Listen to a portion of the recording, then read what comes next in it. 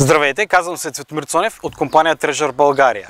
Ние направихме а, исторически атракцион, в който искаме да покажем на българите нашата история, да ги запознаем добре с а, историята по нашите земи. И заради това ние възстановихме едно неолитно селище, една халколитна къща от а, тази епоха и един тракийски музей.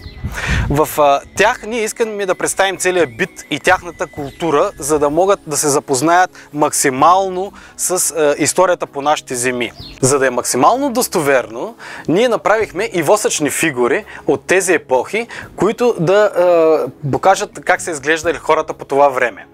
И те станаха толкова истински, че хората, когато влязат тук, не могат да разпознаят истински ли са или не са. И затова ние се направихме един експеримент. Днес в а, тази неолитна къща в, до този човек ще сложим и един а, истински човек, който ще е облечен от същата епоха по същия начин, за да видим експеримента какъв ще е, когато влязат хора и се запознават с тях.